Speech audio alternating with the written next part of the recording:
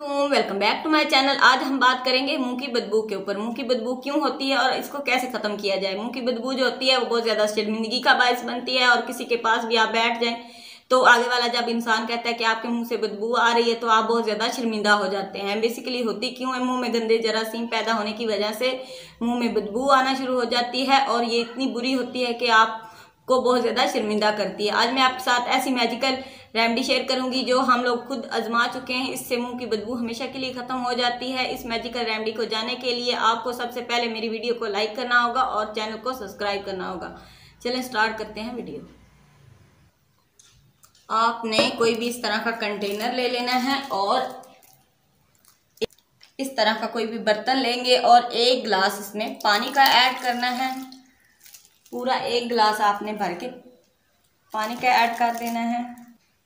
उसके बाद आपको सफ़ेद इलायची चाहिए। ये जो सफ़ेद इलायची है, ये मुँह की बदबू को ख़त्म करने के लिए बहुत ही कमाल की है। ये पाँच इलायची एक गिलास पानी में आपने ऐड कर देनी है और इसको चूल्हे में तब तक पकाना है, तब तक ये हाफ़ गिलास पानी ना रह जाए। पानी जब बॉईल हो जाए, हाफ़ गिलास पानी रह जाए, अब आपने क्या करना है, लेमन लेंगे हम, वो हम इसके अंदर हाफ़ लेमन आपने इसके अंदर ऐड कर देना है। अगर लेमन बड़ा है तो हाफ़ करेंगे, अगर छोटा है तो पूरा ऐड कर देंगे। इसको अच्छे से पूरा लेमन ऐड करेंगे। उसके बाद हमें दो चुटकी इसके अंदर नमक ऐड करना है। दो चुटकी नमक ऐड करने के बाद इसको अच्छे से मिक्स करेंगे।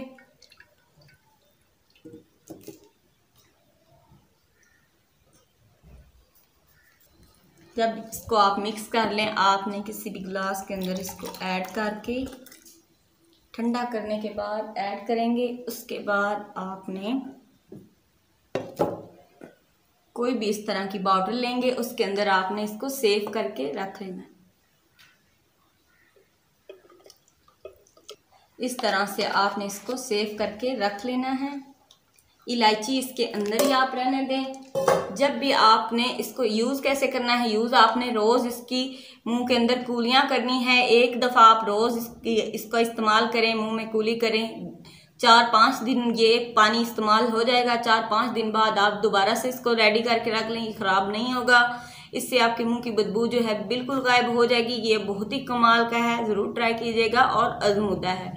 वीडियो अगर थोड़ी सी भी अच्छी लगे तो प्लीज़ लाइक कर दीजिएगा और सब्सक्राइब करना मत भूलिएगा। मुझे दीजिएगा इजाज़त। मिलते हैं नेक्स्ट वीडियो में। अल्लाह हाफिज़।